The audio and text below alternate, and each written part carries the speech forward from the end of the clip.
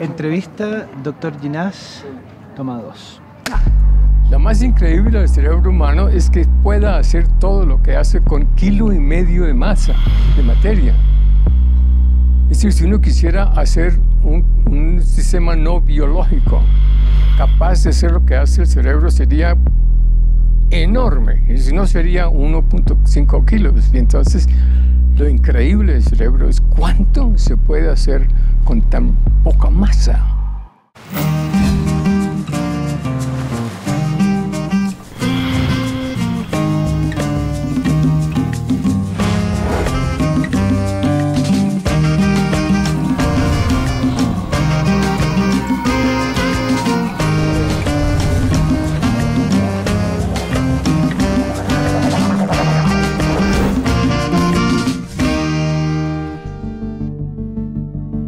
Rodolfo Llenás es muy colombiano, es científico, muchacho curioso, que sigue siendo muchacho curioso, no cree en un aspecto de la ciencia, cree que la ciencia para ser real tiene que cubrir casi todos los aspectos posibles.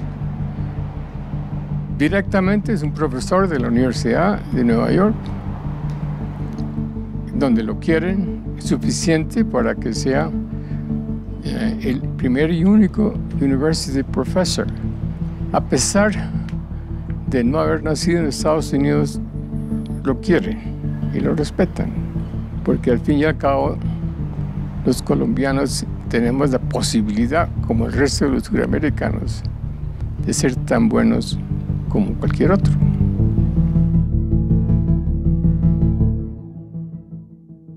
Mi abuelo, a los cuatro años, él tenía la oficina en la casa y alguna vez uno de sus pacientes tuvo un ataque epiléptico. Yo lo vi, entonces, claro, fue increíble. Ese señor, ¿por qué se portó tan raro? Se botó a la, a la, al suelo y babeaba y se movía. Y se puso, ¿por qué quería, por qué hizo eso? Si es que no quería hacer eso. Es como si no quería hacerlo, ¿por qué lo hizo? Sí, porque tiene un problema con el cerebro. Entonces, ¿qué es el cerebro? Y, cómo? entonces ahí empezó, empezó el problema, pues, ¿no? Entonces, ah, es que uno es el cerebro. ¿no? Tuve por primera vez un cerebro humano en mis manos cuando llegué a medicina, pues, en 1952. Antes de eso, había ya pues hecho estudios en animales. Entonces tenía toda clase de cerebros en frascos y los disecaba, en fin. Realmente el cerebro lo he estado manoseando durante muchos años.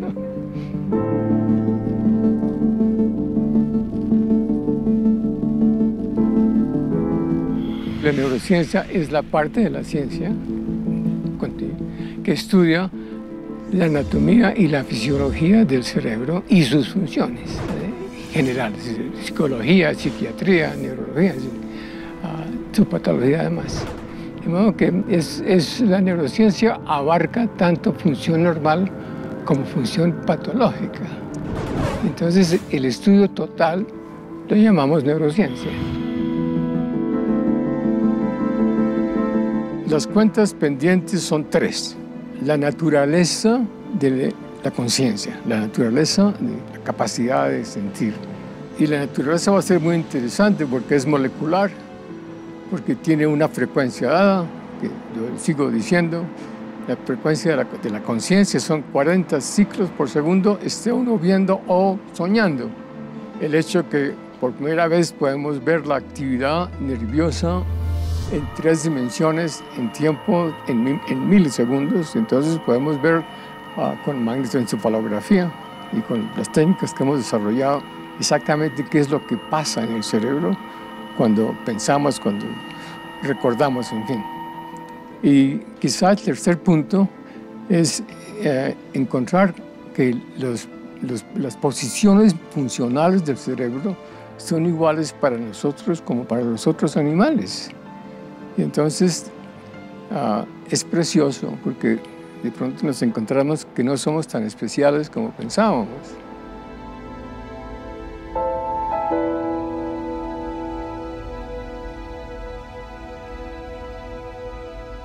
Mi sueño es entender la naturaleza de la cognición. Es decir, ¿Eso qué quiere decir?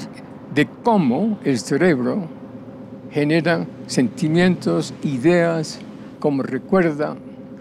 Es decir, cómo es que una materia, que es el cerebro, es capaz de hacer eso. Creo que es la pregunta más profunda que se puede hacer en ciencia. Y la pregunta ha sido suficientemente bien hecha para que empecemos a entender realmente de qué estamos hablando. La posibilidad funcional del cerebro es casi infinita. La importancia de esto es difícil de describir en palabras.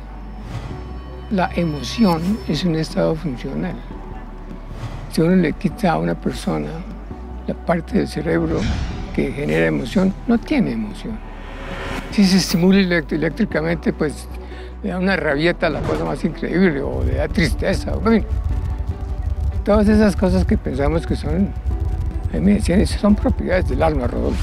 Decían, no, son estados funcionales del cerebro. Entonces, miren, pues no, todo lo que somos, todo lo que queremos ser, todo lo que podemos ser.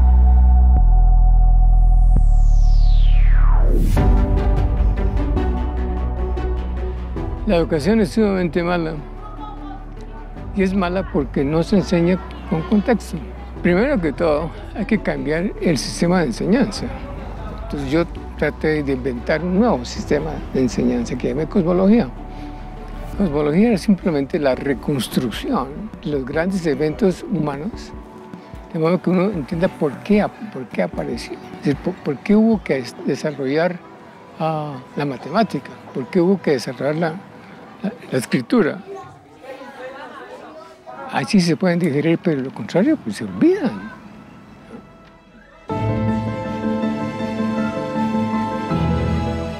La vida es inevitable. La vida es una propiedad de la materia. El amor es casi un instinto. Si no fuera por el amor, yo creo que habría mucho menos gente. Si no nos quisiéramos la posibilidad, la vida sería cero.